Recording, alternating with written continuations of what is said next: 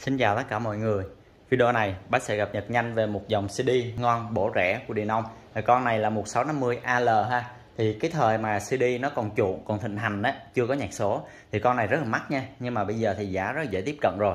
Hiện tại thì một con máy này rất là đẹp. Và bác sẽ tặng kèm cho mọi người một cái đĩa CD để các anh thử máy nè Một cái remote kèm theo để các anh sử dụng tất cả các chức năng. Thì hiện tại nó đang có mức giá bán à, đầy đủ như vậy là 6 triệu ha và với 6 triệu thì nói về phân khúc và cái mức giá tiền. Thì phân khúc, cái cái phân khúc giá này á, thì nó chỉ ngang ngang với những con như là 3 số 3 SD thôi. Tuy nhiên, thì 3 số 3 SD của Sony nó là một con CD phân khúc bình dân nha. Còn dòng 1650 á, con 1650 AL này thì nó nằm ở phân khúc ở cái ờ, thế hệ thứ hai của dòng 1650 nha. Thì như các anh biết là các cái con ờ, CD của Denon dòng 1650 nó sẽ có ờ, dòng G nè dòng GL sau đó mới tới à, thế hệ thứ hai là AL, AR, AZ và SR cuối cùng về sau này thì nó có các cái dòng ví dụ như là AE, SE và RE đó. Thì cái con này nó vẫn thuộc cái phân khúc tầm trung nha thế hệ trước. Cho nên là cái chất lượng âm thanh của nó rất là tốt. Đặc biệt là hiện tại bây giờ thì cái mức giá của nó đã rất là dễ tiếp cận rồi. Rồi bây giờ bác sẽ quay kỹ để cái con này à, các anh quan sát tỉ mỉ từ ngoài vào trong ha. Và các anh đánh giá xem là với mức giá 6 triệu thì chúng ta có nên xuống tiền để mà sở hữu con này hay không. Về cái à, hình thức thì cái con này nó sử dụng cái à, thiết kế giống như là những con S10 á.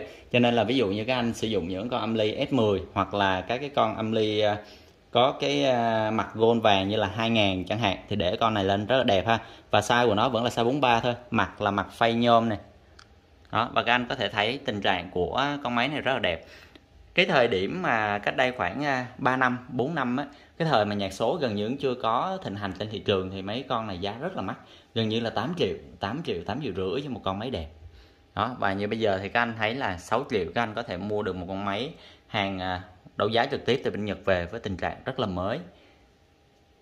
Bắt test luôn khả năng hoạt động để các anh kiểm tra cái độ nhạy cũng giống như là cái à, độ ổn định của nó ha cơ thì chạy khá là êm tại vì những cái dòng này thuộc phân khúc tầm trung cho nên là nó làm khá là chỉnh chu.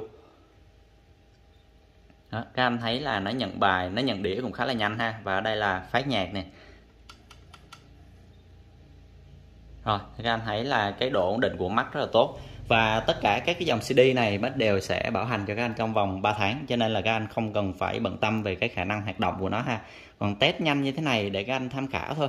Chứ thực ra máy bắt có bảo hành cho nên là về cái vấn đề hoạt động bắt đều kiểm tra rất là kỹ.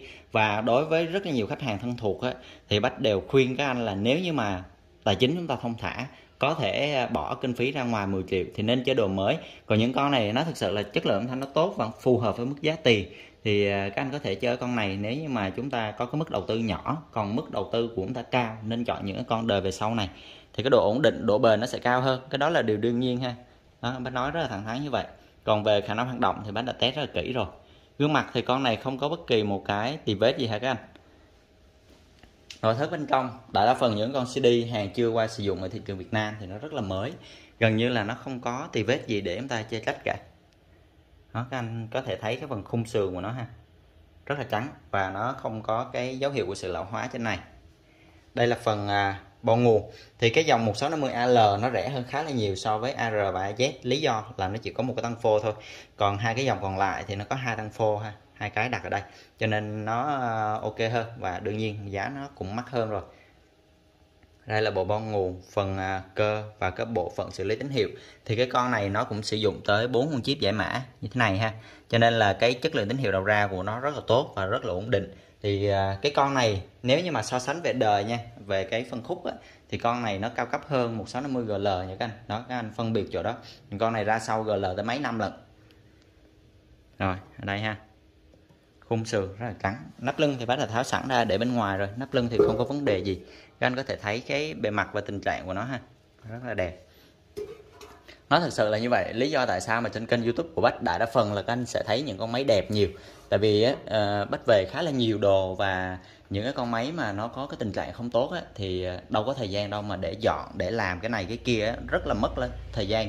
Cho nên là đại đa phần những con máy xấu á, là bách bán ờ, theo cái giá vốn theo cái giá bách nhập vào á à, bách bán đi nơi khác để cho anh nào mà có thời gian thì các anh có thể à, xử lý theo cái cách của các anh.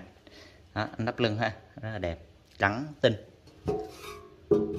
Rồi những cái con này thì à, nó cũng khá quen thuộc trên thị trường rồi, cho nên là về các cái ưu nhược điểm của nó mình tạm thời bỏ qua ha. Và sẽ quay luôn phần mặt sau để các anh quan sát tỉ mỉ hơn.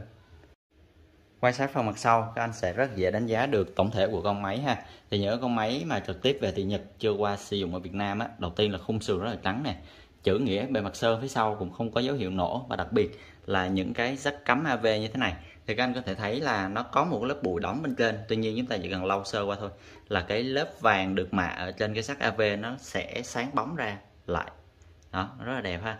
Đó là những cái chi tiết này là những cái chi tiết mà chúng ta có thể đánh giá được tình trạng của con máy.